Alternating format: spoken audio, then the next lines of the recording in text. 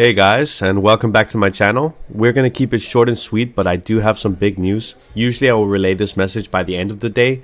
I think this is important to get to it now. The time is now currently 4 p.m. almost in Ukraine. And without further ado, let's get into it. But I'd also like to mention that for my channel, I really thank you guys for hitting me 1k subs. And if you guys would like to leave a like in the video, it motivates me to keep this going. Anyways, let's look into it.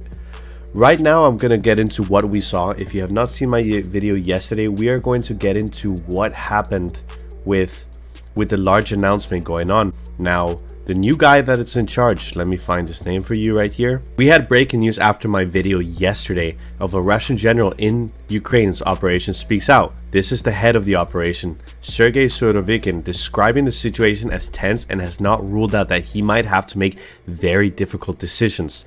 He is talking about a absolutely Kherson Oblast region right now, where it seems to be heavy large battling going on, which we've been noticing in the last couple of days.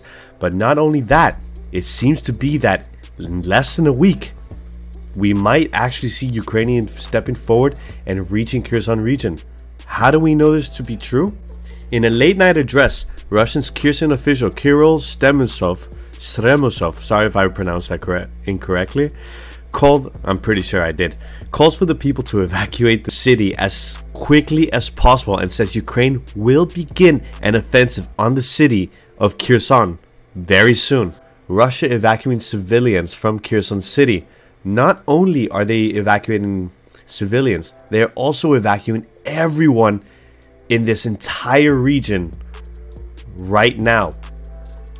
What we have known, or what we're estimating or guesstimating, is that there's a large buildup, and this was actually stated by Sergey, that there's around maybe 30,000, maybe 60,000. Some reports are even estimating that there's 100,000 Ukrainian troops.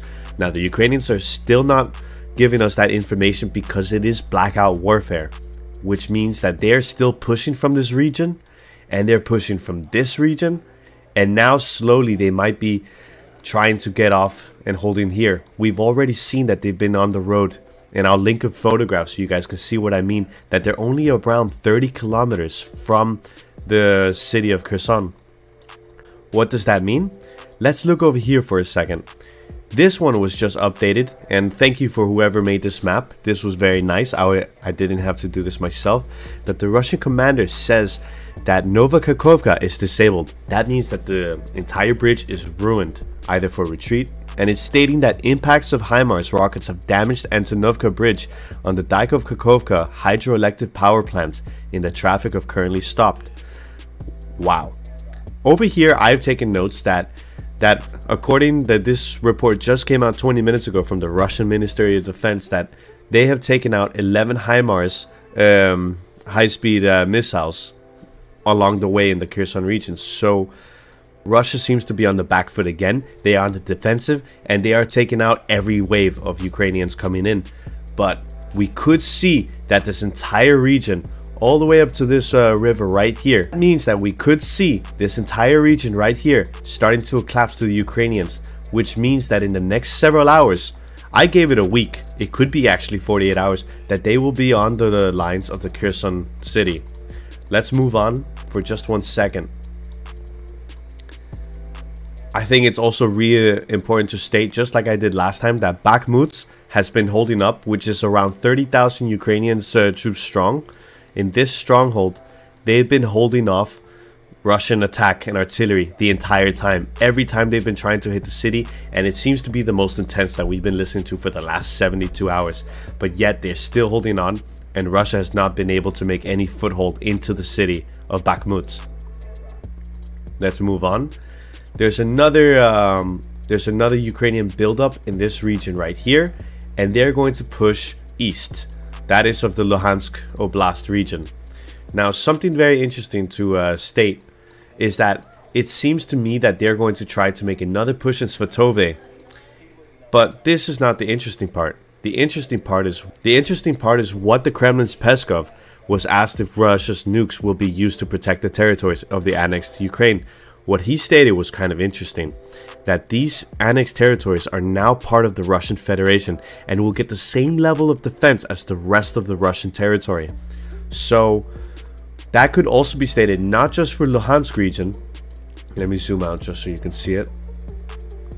Not just for the Luhansk region, but also for the Kherson region. If Ukraine keeps pushing up and keeps taking control of this area right here, right before they get to um, to the city, they might be using more in-depth tactical nukes. I'm not saying that it's off the table. I still see that it's unlikely, but that is why that they're evacuating troops, and which goes also to show when Russian state television showed Sergei stating that he has to make undesired decisions. So we'll only see how that'll progress. The last thing I want to state is that all around the city, we're going to check right here. One thing I also forgot to mention is that Putin has just declared martial law in annexed regions of Ukraine and special response regime in, regi in regions of Russia next to Ukraine. That is uh, that includes all of the regions that we've been discussing that he has annexed right here. That just came out an hour ago. Seen reports that in the city of the capital of Kiev and all around from Chernihiv, Sumy, as well as the west, that we're starting to see a lot of drone attacks, and these drones are not going to be um, out of supply anytime soon. In accordance with Iran, they have signed another deal that they're going to start to uh, send out even more drones to Russia. It's only around $20,000 for them to make a pop for these drones. The way the drones work is that they can't really control, so don't think that it can take out like a HIMAR MLRS system. They can only go one direction, they follow the location and can only move. And the only thing that the pilot can uh, retain is their altitude. Other than that, NATO is supplying more defense against drones, more systems in the next couple of days, and we will see that coming within one week to three weeks, like as I mentioned last time. That's all for my video. Keep an eye on what's happening in Kherson region, and I'll keep updated with you guys. Take care, and don't forget to subscribe and like. I'll appreciate it greatly. Bye, guys.